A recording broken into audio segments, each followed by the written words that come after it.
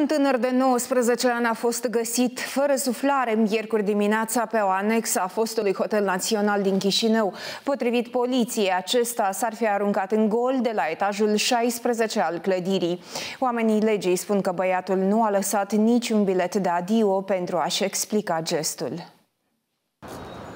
Poliția susține că pe corpul tânărului nu au fost descoperite urme de moarte violentă decât cele specifice căderii de la înălțime. În cadrul documentării la fața locului, angajații poliției au stabilit identitatea tânărului. Acesta s-a dovedit a fi în vârstă de 19 ani și s-a aruncat în gol de la etajul 16.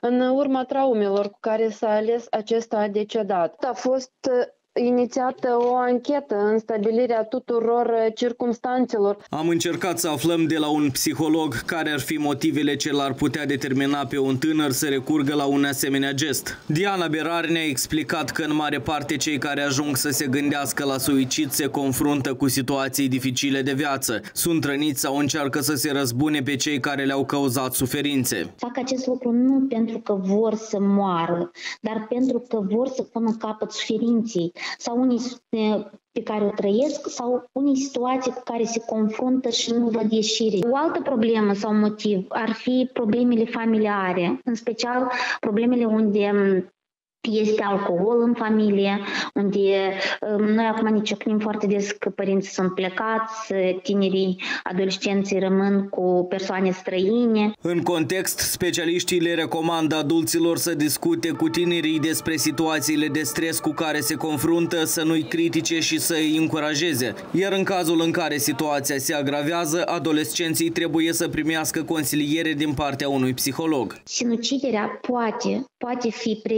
prevenită dacă îi arăți celui de lângă tine că îți pasă dacă ești atent la problemele pe care le are și arăți compasiunea ta. Potrivit Inspectoratului General al Poliției, de la începutul anului, 81 de persoane și-au pus capăt zilelor, dintre care 16 tineri cu vârste cuprinse între 18 și 30 de ani. Alte 27 de victime aveau între 46 și 63 de ani. În Republica Moldova există 41 de centre comunitare de sănătate mentală și 40 de centre prietenoase tinerilor celor care oferă servicii gratuite și confidențiale tinerilor care trec prin situații de criză.